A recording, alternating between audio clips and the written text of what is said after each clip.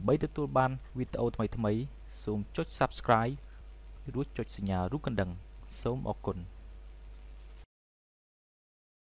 សំណួរពី Channel Alan Love លោកគ្រូខ្ញុំចង់សួរថាតើធ្វើដូចម្ដេចនៅពេលមានអ្នកនិយាយថាខ្ញុំធ្វើរឿងមិនល្អទាំងខ្ញុំមិនដឹងអីសោះតើធ្វើដូចម្ដេចនៅពេលដែលមានអ្នកនិយាយថាខ្ញុំធ្វើរឿងមិនល្អទាំងដែលខ្ញុំមិនដឹងអីសោះបាទឥឡូវយើងដឹងហើយយើងមិនមែនមិនដឹងអីសោះទេ យើងបានដឹងខ្លះហើយ ការដឹងនោះគឺយើងបានដឹងថាគេថាយើងថាធ្វើរឿងមិនល្អបើយើងបានដឹងបែបនេះហើយយើងកុំកន្តើយយើងកុំប្រងើយ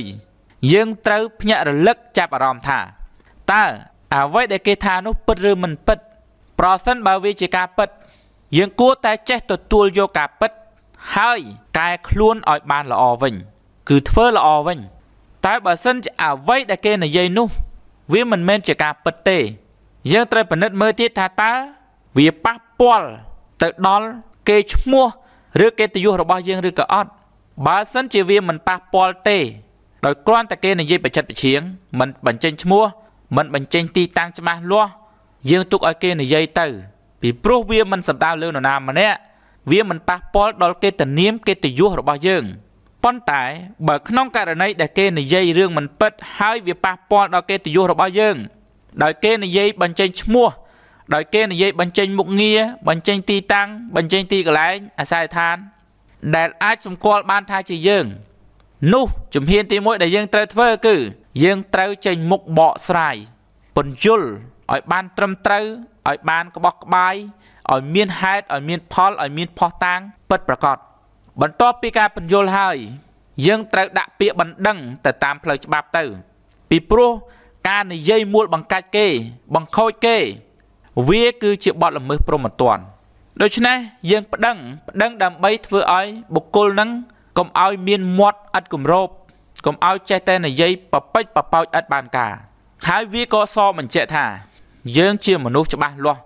យើងជាមនុស្សមើងម៉ាត់ម៉ត់ចត់យើងជាមនុស្សត្រឹមត្រូវពិតប្រាកដដែរ ហើយបើយើងនៅតែបណ្ដោយឲ្យបុគ្គលរបៀបនឹងនិយាយប៉ះពៀប៉ះពាល់ដល់កិត្តិយសអញ្ចឹងទៀត